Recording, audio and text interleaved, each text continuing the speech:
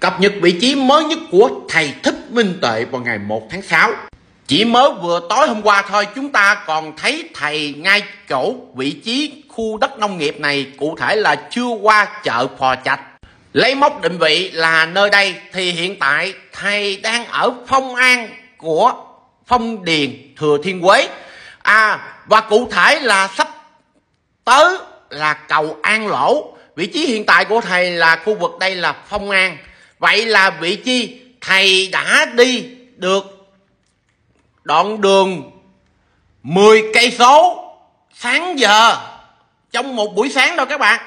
Để biết chính xác định vị của thầy thì các bạn bấm cầu An Lỗ giật về khoảng hai cây số thì chúng ta sẽ biết được vị trí thầy đang nằm ở khu vực này. Và đặc biệt, tại vị trí này đang có dấu hiệu làm khu đô thị Phong An nên đề nghị bà con ở Quế ra coi coi thầy săn sóc, giữ thầy cho kỹ, để tụi dự án ra hốt thầy vô sông đất là mất thầy nha.